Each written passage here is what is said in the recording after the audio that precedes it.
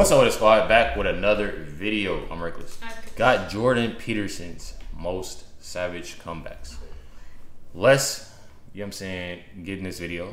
React to him once, right? And definitely uh, enjoy it, you know what I'm saying? Yeah, facts. Make sure you hit the like button, subscribe button. Let's get in the video. How much responsibility do you feel that you have, particularly to guys the alt right, who, as you say, some of them have enjoyed your Hey, y'all, did I press record?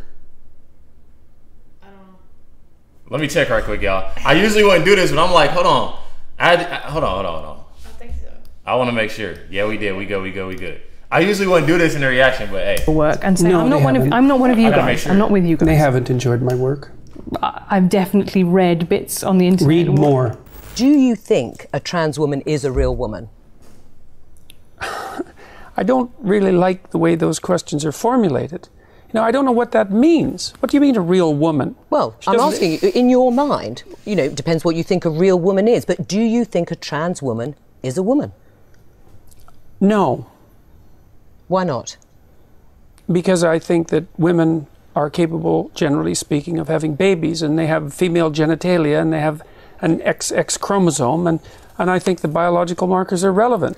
I'm interested in people being able to have different choices and um, and having equality of outcome.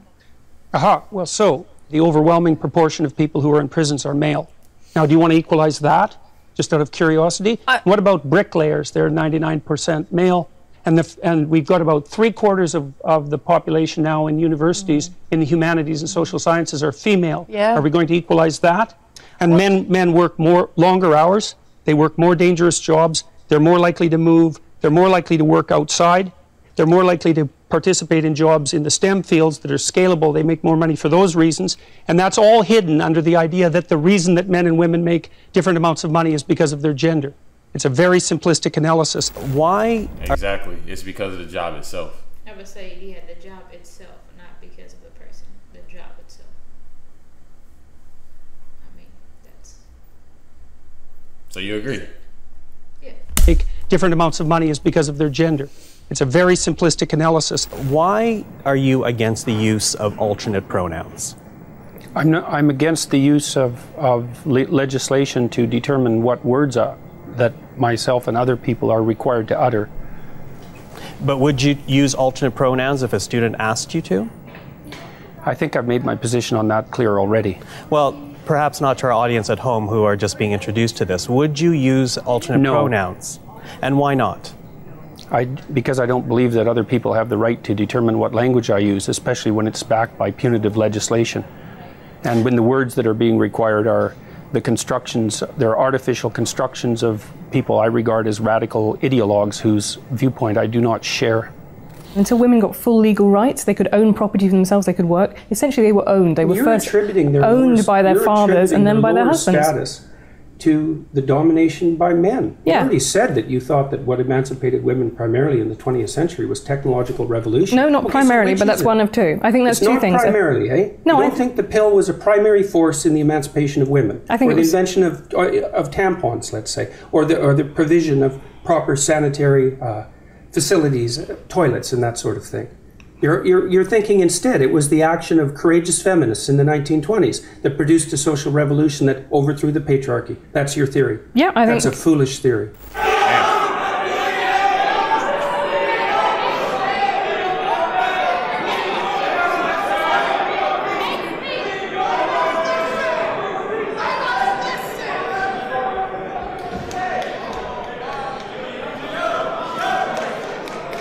That's pure narcissism at work, by the way. She spraying something?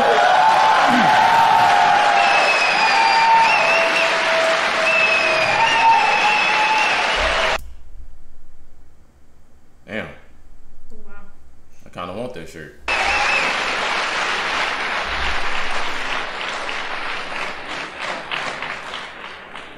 you know, to hijack a, to hijack an event like this that other people put time and effort into, and to use the, their their civility of the crowd and the civility of the organizers as an excuse to blatantly yell out your ill-informed opinions is no way to conduct a civil dialogue. It's absolutely appalling. The people who do that should be embarrassed. My idea of the patriarchy is a, a system of male dominance of society. Yeah, but that's not my sense of the patriarchy. So what's, what's yours? Well, in what sense is our society male dominated? Uh, the fact that the vast majority of wealth is owned by men, the vast majority of capital and is owned by men. Women do more unpaid It's a very, labour. very tiny proportion of men, and a huge proportion of people who are seriously disaffected are men. Most people in prison are men. Most people who are uh, on the street are men. Most victims of violent crime are men. Most people who commit suicide are men. Uh, most men, most people who die in wars are men. People who do worse in school are men. It's like, Damn. Where's the You got the whole list. What you're doing is you're taking a tiny substrata of hyper successful men and using that to represent the entire structure of the of Western society. There's nothing about that that's vaguely appropriate. But I could say equally well that most rape victims are women. You know, terrible things happen to people of both sexes. And you could say that with, with, with perfect utility, but that doesn't provide any evidence for the existence of a male dominated patriarchy. I would say that anybody with It's like every, literally everything somebody says, he gonna have an answer for He y'all. already has a list. Yep, he that got, doesn't he got it provide any y'all. evidence for the existence of a male dominated patriarchy. I would say that anybody with more than a cursory knowledge of 20th century history who dares to claim simultaneously that they have compassion for the downtrodden and that they're Marxists are revealing either their an ignorance of history that's so astounding that it's actually a form of miracle or a kind of or a kind of malevolence that's so reprehensible that it's almost unspeakable. Because we already ran the equity experiment over the course of the 20th century, and we already know what the, the Marxist doctrines have done for oppressed people all around the world. And the answer to that mostly was imprison them, enslave them, work them to death, or execute them. And as far as I can tell, that's not precisely commensurate with any message of compassion. Sorry, tried that, didn't work. We got 100 million corpses to prove it, and that's plenty for me. And if it's not enough for you, well, then you should do some serious thinking either about your historical knowledge or about your moral character. uh, question uh, for Professor Peterson. Um, me turn this why off, do you though. feel that someone's personal gender identity and pronouns infringes your free speech? Can one not also argue, based on your interpretation, that professors can use racial slurs in their classroom um, and the, that the inability to do so would violate their freedom of speech? There's a difference between saying that there's something you can't say and saying that there are things that you have to say. And I regard these made up pronouns, all of them, as the neologisms of radical PC authoritarians. Do you understand that? And I don't, I'm not a fan of that sort of person. And the reason I'm not a fan of that sort of person is because I've done my homework. I've read everything I can get my hands on in the development of authoritarian political systems, and I know the literature inside out and backwards. And I am not going to be a mouthpiece for language that I detest. And that's that. Damn. This whole patriarchy thing, I You know you mad when you when you when you got your teeth together like that. and that's that.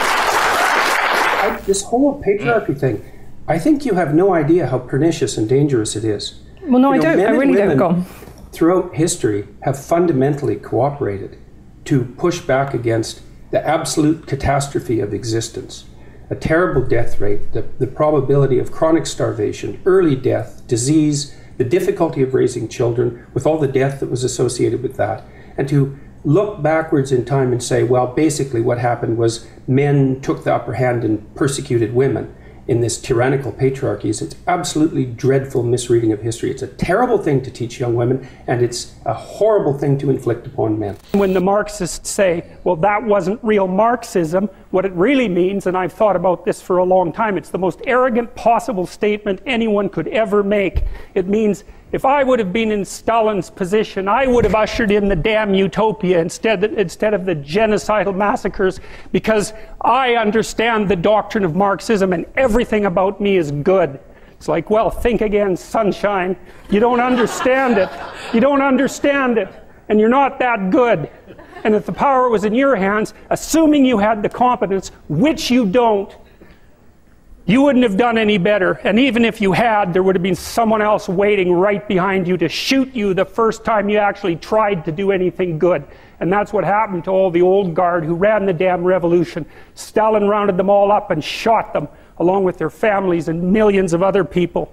So even if you do happen to be that avatar of moral purity that you claim implicitly, the probability that you'd get to act out your goodness in relationship to those possessed by your ideology is zero. Is being sensitive to offence such a problem though? Like we would have previously called that manners. It's a terrible problem. So imagine, you know, imagine you, okay, so the rule is you can't offend anyone, all right? Let's say you're speaking to one person, I can't offend you. All right, fair enough. What if I'm speaking to 10 people? Do I get to offend one in 10? How about one in a 100? How about one in a 1,000? You're going to come out on stage and you're going to say something important about something vital, and you're not going to offend one person in a 1,000? Well, you can't say anything about anything important ever without offending probably the person you're talking to. Im- important speech about important issues, especially contentious issues, is instantly offensive. Just the way, just the way, like everything he was saying, just is, it's like an eye opener. Yeah, he already has like a list for everybody. He's just, it's, it's just him knowing, him knowing what's going on, and I don't know. Like this, the, this is only the second reaction to Jordan Peterson, so. Uh, I still, yeah, I still like. Yeah, trying to just figure figure him out. Yeah.